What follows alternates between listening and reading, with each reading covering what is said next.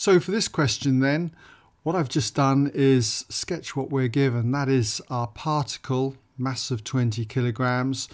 We've got this force of 40 newtons acting on it at an angle alpha, where tan alpha is 3 quarters. It's on a rough horizontal plane. Coefficient of friction, mu, is 0.14. I'm taking g to be 9.8 meters per second per second in this question. And we've got to work out then what the acceleration of this particle would be. You'll also notice that I've moved the 40 Newton force across into the center of the object because we're taking it as a particle and I believe that we should have that force acting at the center here. Okay, so in order to find that acceleration, what I'm going to do is mark on all the forces that act on the particle. And then I'm going to consider resolving forces vertically and horizontally. And we should be able to build up enough information from the equations to work out what the acceleration is. So just mark in the forces then first of all that are acting on this particle. If we look at the fact that it's in contact with this horizontal plane here, there's going to be a normal reaction. So it's going to act upwards. I'm going to call it R newtons, okay? And we've got the weight of the particle that acts vertically downwards. So that's going to be mg. The mass is 20, so it's going to be 20 times g and that be measured in newtons. There's also going to be a resistance to motion and the particle is going to move across to the right. So friction will oppose that motion, so it's going to act away from that towards, towards the left. Okay, now because it's moving, it's in limiting equilibrium, so therefore the force will be mu r. So we know that mu, the coefficient of friction, is 0.14. I'm not going to just write mu in, I'm going to actually write 0.14, okay, times the normal reaction R, and that's measured in newtons. Now when it comes to this 40 newtons force, because it acts at an angle to the directions we're going to be resolving in, remember I said earlier we're going to be looking at horizontally and vertically. Then I need to split this 40 newtons into two components. One horizontal in this direction and one vertical component. Alright, so I'll just mark that in there, squeeze it in there like so. Okay, so what are these two components of the 40 newtons going to be? Well, the one that contains the angle is always cosine, so that's going to be 40 times the cosine of angle alpha and that will be measured in newtons and the other one that doesn't contain the angle is always the sine of angle alpha. If you're unsure of this do go back and check out my tutorials on resolving or splitting forces okay into components. So we said this one will be 40 times the sine then of the angle alpha and that will be measured in newtons. Now the other thing that I ought to put on here is the fact that it's going to accelerate to the right. So we'll have an acceleration arrow in there. And that's what we've got to find then, what A is. And the units will be meters per second per second. Right, okay, so let's start off then. We now have got to resolve. We've got to resolve upwards, okay, first of all. And this is going to allow us to establish an equation that is going to contain that normal reaction R.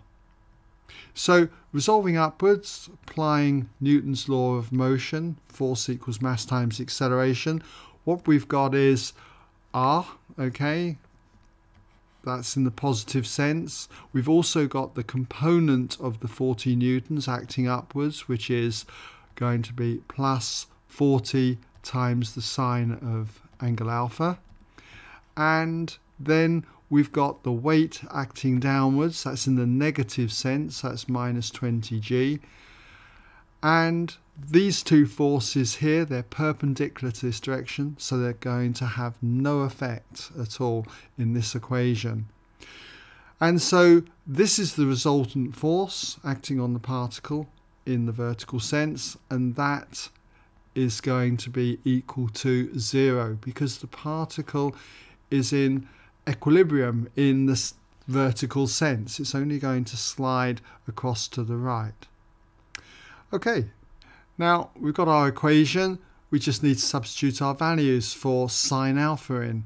And we know that tan alpha equals 3 quarters, so it's a good idea just to draw a triangle from here.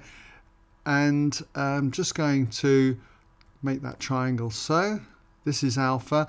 Now we know that tangent is opposite over adjacent, so in a ratio, this would be 3 units to 4 units there. And this is the th familiar 3, 4, 5 triangle. If you work out the hypotenuse by Pythagoras' theorem, you'll find it turns out to be 5. So when it comes to sine alpha, which is the ratio opposite over hypotenuse, you're going to get 3 fifths there. So we can just substitute our values in and rearrange this for r. So if I do that, we've got therefore r will equal, if I add 20g to both sides, that's going to be 20 times g, which is 9.8. And then I've got minus 40 sine alpha, if I take it away from both sides. So 40 times the sine of alpha, which we've seen is 3 over 5, 3 fifths, okay, opposite over hypotenuse. And if you work this out on your calculator, you should find that you get an exact value of 172. Okay, so that's that part done. Now all we need to do next is just look at resolving horizontally. Okay, so we'll resolve horizontally. To the right is taken as positive in the direction of the acceleration. Always do that, okay? So that means that the forces acting to the right is going to be the 40 cosine of alpha. All right, so that's 40 cosine alpha. And that's in the positive sense.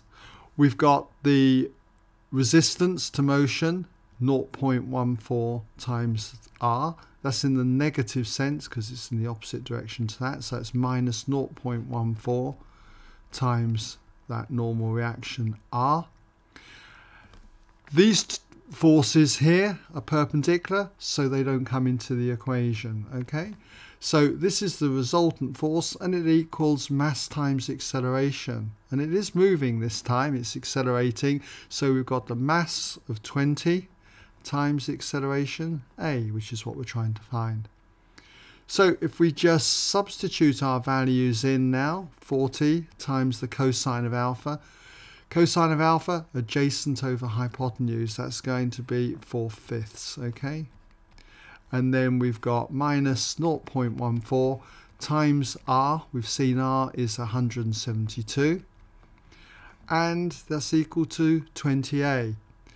I can actually divide both sides by 20 so I might as well put that all over 20 and that will just give me A. And if you put this through your calculator you should find that you get A equals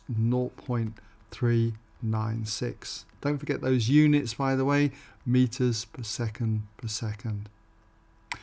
Okay, so hope you've been able to get that one.